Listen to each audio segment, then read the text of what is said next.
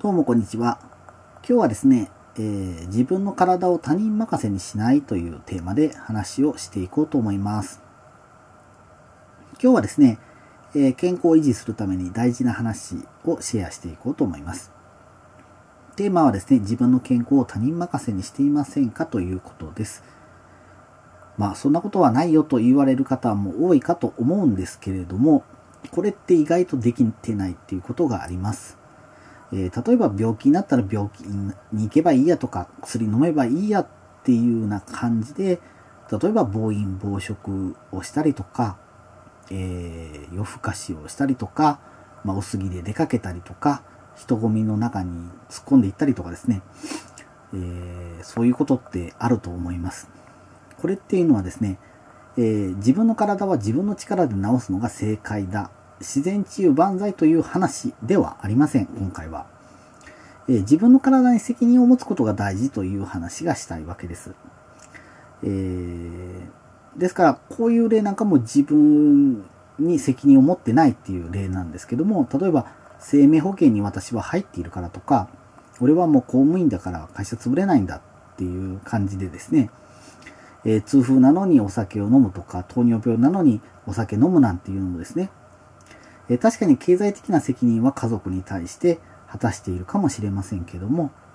自分の体に対してはどうなんでしょうか？もっと極端に言うと、横断歩道で青青信号になったからっていうことで何も気にせずに渡ってしまうっていう方結構います。なんていうのも、確かに横断歩道で青信号で渡って引かれたらですね、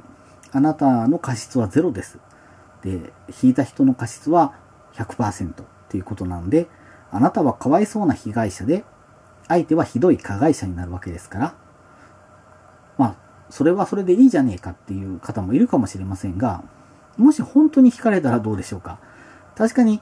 えー、莫大な賠償金がもらえて、まあ、得するかもしれません。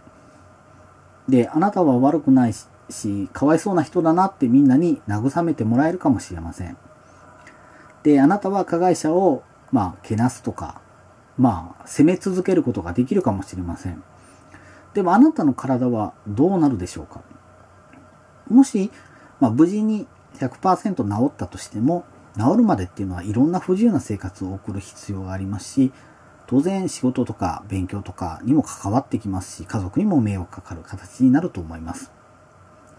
まあ、これもですね、自分の体に責任を持つっていうことにはならないというふうに私は思います。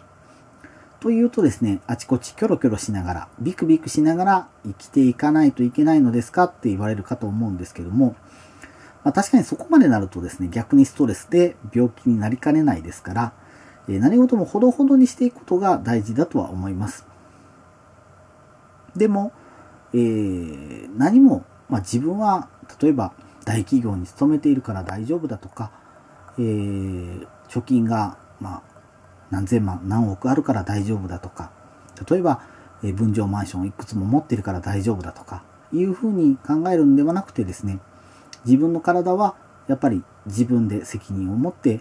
えー、守れる部分は守っていくという考え方も、えー、まあ、ふと思い出していただけると、まあ、今後先々ですね変わってくるんではないかなというふうに思っております。今日はですね、自分の体を、ま他人任せにしないというテーマで話をしてみました。今日も最後までご覧いただきまして本当にありがとうございました。それでは失礼します。さようなら。